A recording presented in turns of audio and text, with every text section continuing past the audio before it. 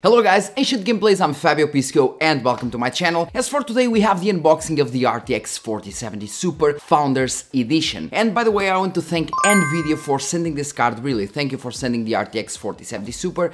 This is one of the cards that I wanted to buy in order to bring you some tests.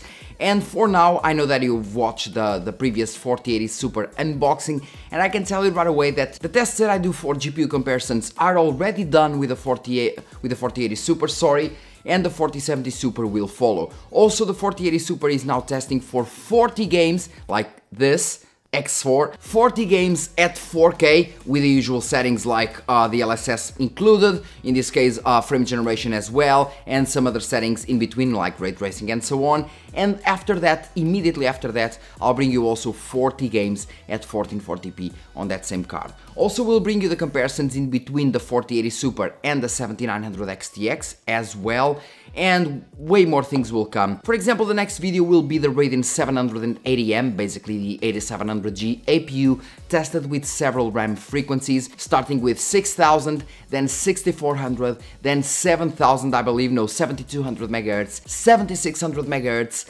and 8000 MHz, using both 6400 MHz and 8000 MHz tweaked as well with improved subtimings in order for you to see how much you can get from the integrated graphics.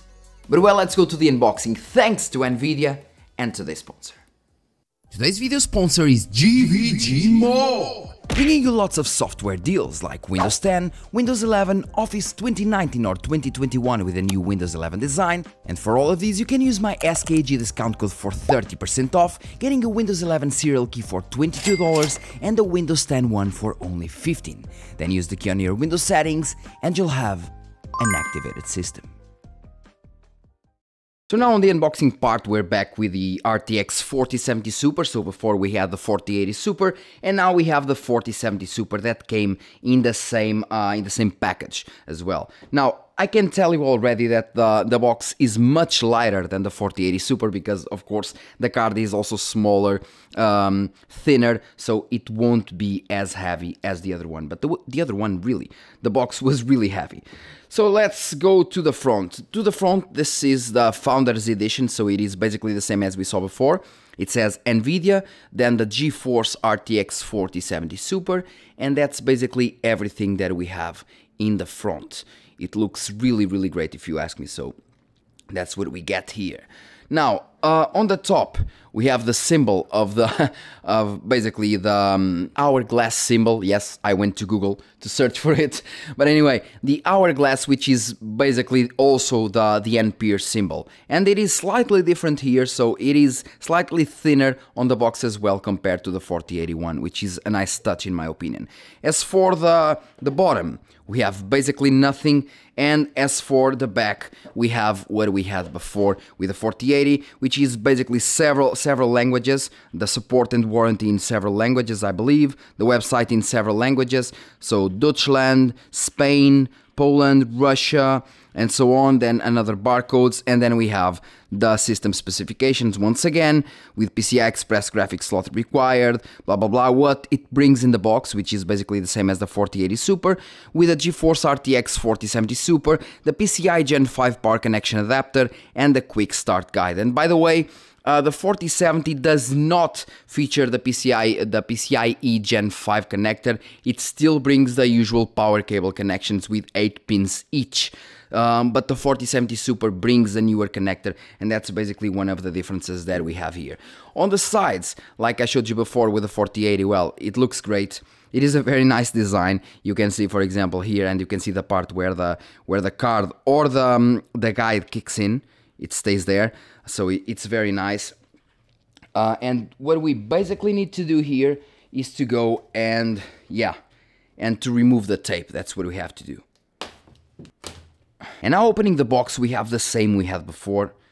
Yeah, it looks great. The box itself looks great. It is very, very well built, like tough, rigid. And I know that the box doesn't really matter for the card's performance, but it is a very nice touch to have. And it looks cool. It looks cool as hell in your, uh, maybe in your desk, in your, in your shelf. It just looks great. Uh, as for the 4070 Super, yes, I can already look at it and it is much, but I put really a big much on this, much smaller than the 4080. Yeah, it looks good, definitely. It still looks good, but it's like half the 4080. I'm not even joking. This card is really, really small compared to the 4080 Super. The 4080 Super was a monster, a really, really heavy card, much wider than this one, much thicker, and the length is not even comparable. I mean, the card looks great, once again, but it is entirely different from the 4080 Super, not even joking.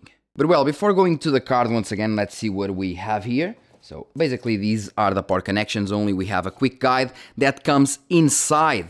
Yes, the quick guide that comes inside of the box of the power connections. Once again, if you don't know how to connect your, your card to your computer, it says that you have to connect your card to your motherboard. Then um, you need to connect the power cables and then you need to connect your monitor to the, um, the display connection on the GPU because some people still connect the, um, even though they have a GPU, they connect the, um, the power, or in this case, the display cable to the motherboard. That happens more than people think. And now we have the power connections, in this case, instead of having three, like with the 4070 Ti, for example, and um, the 4080 Super, we now have only two connections. So the PCI, the PCIe Gen 5 that we have here, and then we have the power connections, two times eight power connections. Basically, this this is the adapter. Now going back to the GPU, well, we have the usual Founders Edition design from NVIDIA, which has the heatsink on one side, basically the, the fan heatsink only, and the fan, that's what we get here. And on the side we have, um, like I told you before, we have the connector. Because of this, this is the PCIe Gen 5 uh, connector, power connector. Once again, this usually brings some meltdowns and some connectors having problems with temperatures and so on, but this is mostly to the high power draw GPUs like the 4080 Super, 4080, especially the 4080 since it consumes more than the 4080 Super because the 4080 Super uh, is built using 4 nanometers lithography and the 4090 that, well, consumes a lot more power. So that's mostly for those cards. These ones are safe. For example, even my 4070 Ti never had any kind of issues there, so won't be a problem at all. As for the top part, we have it saying 4070 Super, which is also a nice touch. Look at this. It is hard to see on camera, but you can see it. So basically the design is the same with, uh, with the back plate here and uh, the fan and the other side has full heatsink and the fan as well. One fan on one side, one fan on the other and usual as usual we have G GeForce RTX here. Now I don't really know that if the GeForce RTX here will have LEDs I need to test, I need to put it on the, on the computer and see, but the, the, um, the RTX 4080 Super does have LEDs on this part. But I don't think it has LEDs here because it doesn't have depth, the letters have no depth, but I have to confirm, yeah. Now as for the size comparison, well, before you saw that the 4080 Super was massively bigger than the 7900 XTX, but I, I really mean it, massively. Now this time we have the 7900 XTX, we have the 7800 XT and the RTX 4070 Super. You can see that the 4070 Super resembles way more in terms of size to the 7800 XT than the 7900 XT. And once again, while these two are very close uh, in terms of size, weight, and so on, the 7900 XT reference was much smaller compared to the 4080 Super reference. So uh, it seems that in terms of the 4070 and below, the reference versions are more on par AMD versus NVIDIA in terms of size, but as soon as you go to the bigger cards, the reference version is much bigger on the NVIDIA side.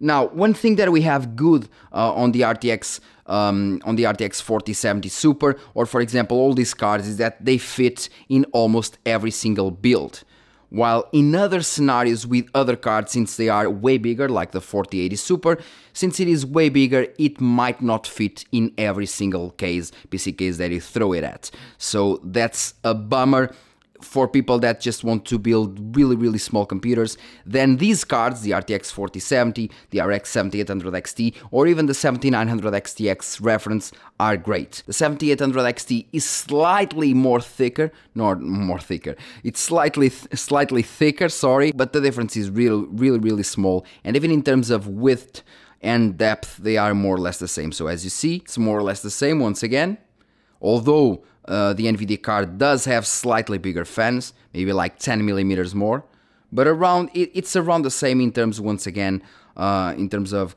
length, width, and even weight. Yeah, even weight they are more or less the same. If you compare though to the 7900 XTX, well the difference is there, but I mean, it has to be. They, they are on completely different leagues, but this is just for a matter of perspective. The 7900 XT is a bit thicker, and in terms of weight, well, it is way, way heavier than the RTX 4070 Super and the 7800 XT.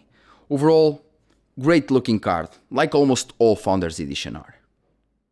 And as you saw, the RTX 4070 Super Founders Edition is a really, really compact card. I compared the sizes as you saw some minutes ago. I compared the sizes of the um, of the 7800 XT, 4070 Super, and the 7900 XTX. And I even have the the Gigabyte one, the the Gigabyte model for the 4070 that is also a very good model and actually surprised me as you can see in this video. And I can tell you right away that in terms of build quality, in terms of the materials, in terms of the feeling that you have when touching the card, the card feels amazing. The card is very, very high quality in terms of building and once again, even in terms of performance, and even in terms of performance and in terms of thermals, it will just work perfectly. It won't have any issues in terms of thermals or noise. The card is actually pretty silent and the temperatures are very, very controlled. So once again, this card is very, very nice. One thing that I talked about across the video um, was the LEDs on the GeForce RTX letters and we don't have those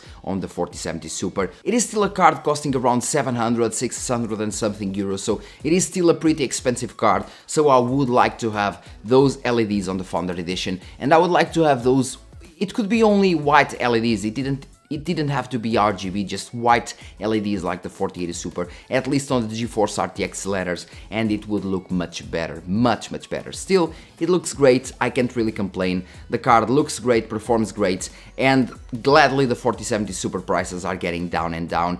And if you don't really know, the 4070 Super performs really close to the 4070 Ti and is much cheaper. Both the 4070 Super and 4070 Ti are also, of course, getting their price their prices reduced.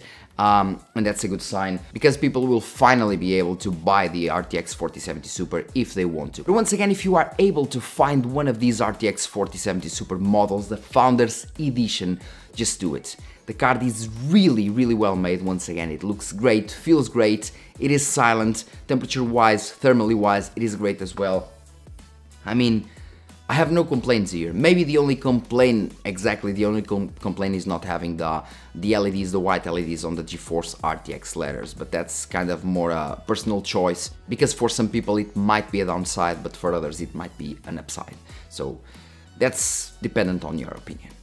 Once again guys, thank you very much for watching, don't forget to like, subscribe and share this video, thanks NVIDIA for sending the card, and guys, more tests will come. Next video will be AMD sided once again. And don't worry because more tests will come, more really interesting tests. Thank you very much for watching and see you in the next video guys.